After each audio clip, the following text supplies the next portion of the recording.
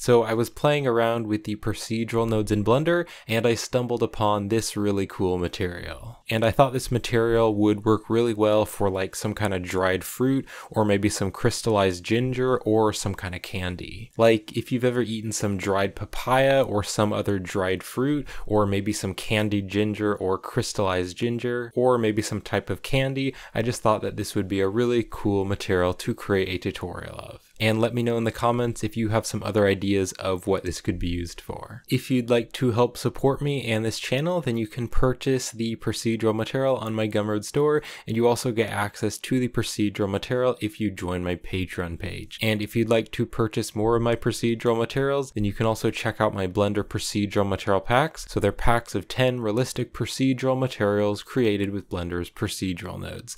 And if you'd like to learn how to create all of my procedural materials, then I have have tutorials on how to create all of my procedural materials, you can check out my Blender procedural material tutorial playlist. Again, the link is in the description. Alright, so real quick, I'm going to show you how I set up my Blender file. So what I did is I added a subdivided icosphere and shaded it smooth, and then I also added a cube and I added this to maybe be like a chunk of dried fruit or maybe some crystallized ginger or something like that. And then I also subdivided this cube, and why I subdivided it is because I'm going to be using the displacements in the shade shader editor. And I would recommend using the Cycles render engine for this tutorial because it will look more realistic in Cycles and it was designed for Cycles. And also if you want to use the displacements, then you're going to need to use Cycles because Eevee doesn't support the displacements in the shader editor. Now for the lighting, I just added this circle here and I filled a face in the circle and I just pointed it at the objects. And then I added an emission material to this circle with a strength of 50,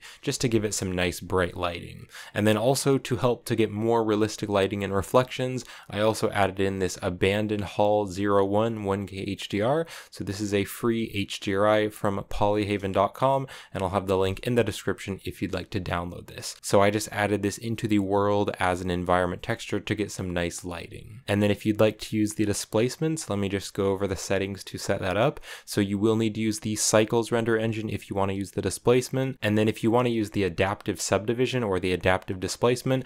Then on the feature set here under the render engine, you need to set this to experimental if you want to use the adaptive subdivision. All right, so now what we need to do is create a material. So what I can do is just click on this object right here. And then right over here, I have the shader editor right here. I'm just going to click on new. And then I'm going to click and drag and I'm going to drop this material onto this other cube as well. Now right over here, if you go over to the material properties and scroll down, we need to tell this material to use the displacement. Just just open up the settings tab and then you're going to open up the surface and then right here you can see it says displacement and I want to change this to displacement and bump and that way we're telling the material to use the displacement. And then if you'd like to use the adaptive subdivision then you can click right over here on the modifier properties and you can click on add modifier and then right down here you can add the subdivision surface under generate. And then if you have the feature set set to experimental then you can click on the adaptive subdivision just check mark that right there and then I will just set the dicing scale to 5. And I'm going to do that for this object as well, so I will click on the cube, let's click on add modifier, and I'm going to add the subdivision surface, and then I will checkmark the adaptive subdivision. You don't have to use the adaptive subdivision if you don't want to, you could just subdivide the object a lot so that it has lots of detail to be displaced, but I do like using the adaptive subdivision. And then I will also be using the Node Wrangler add-on in this tutorial to preview the different nodes, so if you don't have that enabled, you can just click on edit, and then you can open up the preferences and then over there in the add-ons tab you can just search for the node wrangler and just check mark the node wrangler add-on. All right, let's create the procedural material now. So I'm going to press shift A, I'm going to go to the search here and I'm going to add the Voronoi texture. So let's just click on the Voronoi and I'm going to drop it down here. And then using the feature from the node wrangler, you can hold down the control and shift key and then select different nodes and that's going to add the viewer node and so it's going to preview the material on these objects. And then just make sure you have the Voronoi texture selected and I'm going to press Control T and that is going to add the texture coordinate and mapping nodes. But then I don't need the mapping node because the mapping node is going to be used to change the location and rotation and scale of the texture, but I don't need to transform the texture. So I can click on the mapping and press X to delete it. And then let's just use the object coordinates. So I'm going to take the object and put that into the vector of the Voronoi texture. Now on the Voronoi texture here, I'm going to click on the F1 and I'm going to change it to smooth F1. So the difference between F1 and smooth F1 are pretty much the same, but when you have the smooth F1, you can change the smoothness value. So F1 doesn't have that smoothness value, but if you change it to smooth F1, now you have this smoothness value, so you can turn this from zero all the way up to one, and so that is going to change the smoothness of the texture. And I'm going to change the smoothness value to like a 0.35, so a 0.35. And then I'm also going to turn the scale down to like a 3. So I want to use this Voronoi texture to give a little bump to the material. So what I actually want to do is use the color in the bump. So if you control shift and select the Voronoi texture again, you can see that we now have the color value and we're previewing the color value. So I want to use this in the normal to give it some bump. So I'm going to take the color and let's put the color into the normal, but then I need to convert this color data into normal data. You can see the color data is yellow, but then the normal data is purple. So we need a node in here to convert it to normal data. So I'm going to press Shift A. I'm going to go to the search here and I'm going to search for a bump node. So let's click on the bump node and I'm going to drop it right down here. So the color is actually going to go into the height value of the bump. So then to preview that, I can control shift and select the principled BSDF. And you can see now the material has all those little bumps there. Now the material is white right now, and so I want to give this some color. So let's go right over here to the base color on the principled, and I'm going to click right here on the color, and I'm going to make it kind of a dark reddish orangish color. Actually not super dark, but kind of saturated and a little bit dark. And if you'd like to use the same exact color that I'm using, then you can go over to the hex value and you can type in a hex value of A6 3312. So that is the color that I'll be using. All right, now you can see that this is mostly very, very smooth, and so I want to make it a bit more rough and bumpy. So I'm going to press Shift A. Let's go to the search here, and I'm going to search for a, a noise texture. So let's drop the noise texture right down here under the Voronoi, and then I can Control Shift and select the noise texture so we can preview what it looks like. And also I do want to use the object coordinates on this texture as well. So let's take the object and we're going to plug that into the vector. And then the scale here on the noise texture, I'm just going to turn this to like a 2.5 so it's a bit smaller. And then I do want it to be very detailed. So let's turn the detail level all the way up to the max, which is 15. So I also want this noise texture to go through the bump to make it look bumpy. So to do this, I'm going to click on this bump node and then I'm going to press Shift D. Shift D will duplicate the node and I'm going to drop it right in here after this bump node. So the normal can just go through the normal on the bump node, but we now have this extra height value that we can add data into to give it more bump. So I'm going to take the factor from the noise texture and I'm going to put that into the height right there. And then let's control shift and select the principled BSDF to preview it. And I also need to bring the material output over here. So now you can see that this material is very, very bumpy. Now this is a bit too bumpy. So I'm going to take the strength value and I'm going to turn that down to like a 0.4. And also on this bump as well, the first one, I'm going to turn that down to like a 0.4 so it's not quite as bumpy. And that is looking much better. Now you can see that this is a very strong kind of orangey color color and I want it to be a bit more yellowish and a bit more light and I also want a little bit of light to be going through this material. Kind of like with a piece of candied ginger or something, there is just a little bit of light going through the object. It's just a little bit transparent or a little bit translucent. So to get this effect, I'm going to be adding some subsurface scattering. So right here on the subsurface, you can turn up the subsurface and now you can see that it's looking more smooth and soft and it's allowing more light to go through. So I'm going to turn the subsurface value value to a 0.2. Now right here, if I just like click and drag to make this principled shader bigger, you can see it says subsurface color. So we can either put in some sort of texture or we can just change the color right here.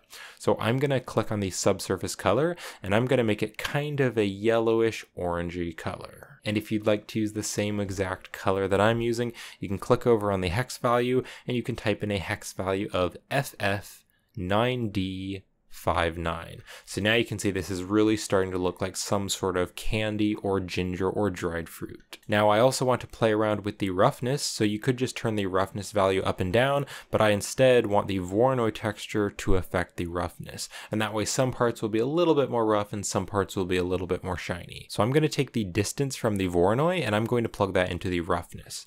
Now I want a little bit more control over this, so I'm going to press Shift A Let's go to the search here and I'm going to search for a color ramp node and let's just drop the color ramp node right here. So now we can change these colors and that is going to affect how rough and shiny it is. So if I click on this black tab, if I start to turn it up, you can see that when it is more light, it is more rough. You can now see that this material looks super, super rough. But if I take this color and make it very dark, it's gonna be more shiny. So I do want this material to be pretty shiny, but not too shiny. So I'm just gonna make this kind of a gray color, just something like that is pretty good. All right, so this material is looking pretty cool, but it still doesn't have any displacement. And so I wanna give it some displacement now. So what I'm going to do is actually join these two textures together, and then we will use that to actually displace the mesh. So to join these two textures together, I'm gonna press Shift A, and let's go to the search here, and I'm going to search for a mix RGB. So let's just drop the mix RGB right down here. So the mix RGB is going to mix different colors together. So RGB stands for red, green, and blue. So we can basically just use this node to mix textures or colors together. So I'm going to take this color from the Voronoi texture and I'm going to put that into color 2 on the mix. And then to preview what it's looking like,